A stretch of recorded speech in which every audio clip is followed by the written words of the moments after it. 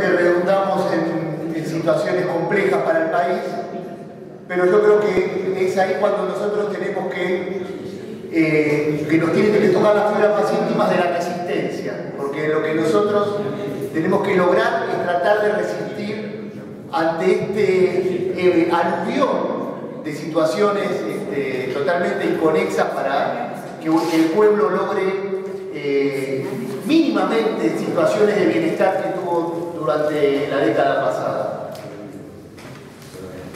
Y el, tema principal es eh, el ataque, el ataque que existe hacia nuestro proyecto, hacia, o sea, tratar de invisibilizar todo lo que, se logró con, con el anterior proyecto y por eso intentan desprestigiar a como dé lugar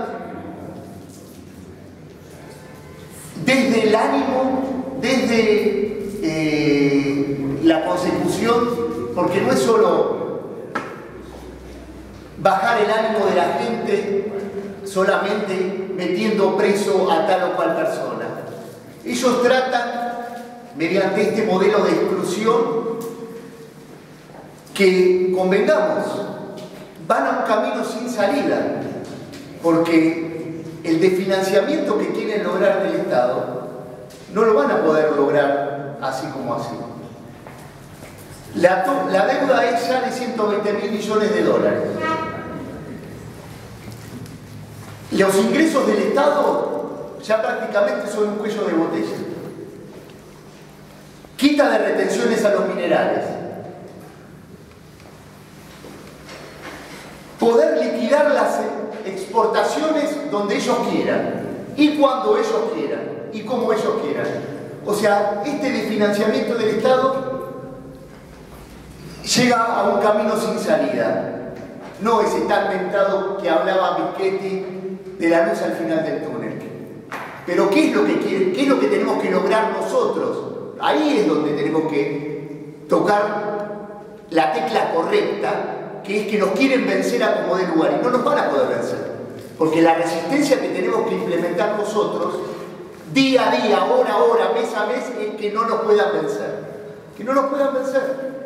Por eso nosotros, como una mínima tarea, es tratar de, obviamente que tienen el poder absoluto, el poder de Estado, pero tratar de eh, hacer hincapié en los errores que cometen, eh, ver que las giras que realizan son improductivas, porque el biodiesel, que es un, este, elemento vital de exportación, no lo pudieron terminar de, que, se concrete la venta. Entonces nosotros tenemos que resistir.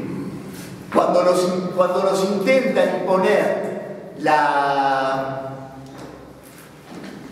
angustia, el deterioro de, nuestro, de, nuestros organismos, que estemos mal, no.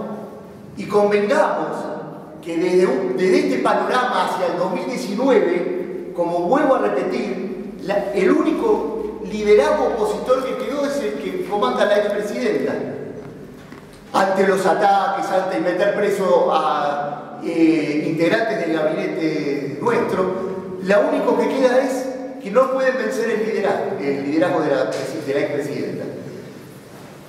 Tal es así que uno de los referentes de la oposición que, intentó despegarse del proyecto como fue Urtubey, en declaraciones eh, tuvieron la oportunidad de escucharnos, dijo, convengamos que yo me voy a adaptar al movimiento que logre este, cautivar las necesidades de la gente.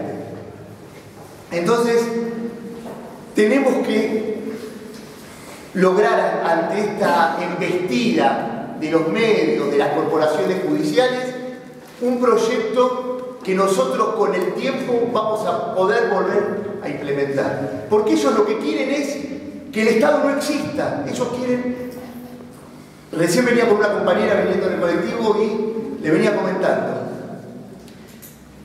Ellos hacían negocios y pedían plata al Estado cuando eran privados y ahora ya no lo necesitan. Ah, tienen el poder, toda la suma del poder judicial, la suma del poder mediático y la suma de los negocios.